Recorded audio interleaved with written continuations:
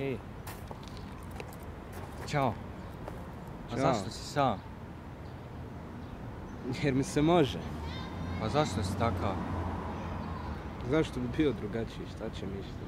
Pa moraš gledat pozitivno, nemoj, nemoj biti tako tužan. Lako je tebi za reći. Stvari nisu uvijek tako jednostavne. Pa u redu, bit će bolje, moraš gledat pozitivno. Nekad. Bolje je da ne gledam.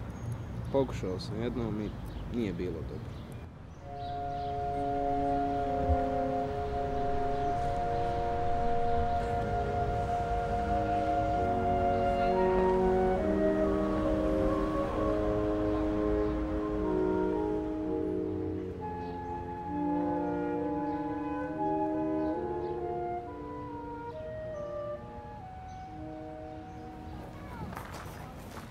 Ćao, Nisam se dugo vidio. hoćemo na klackauc. Može.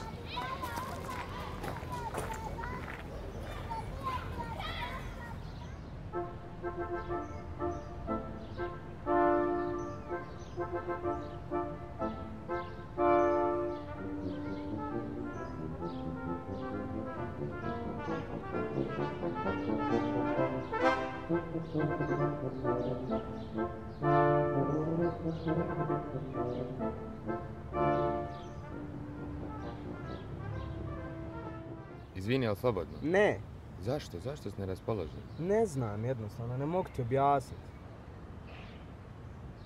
Ali gledaj da je tebi i ljudima oko tebe dobro. Tebi će biti sve u redu u životu.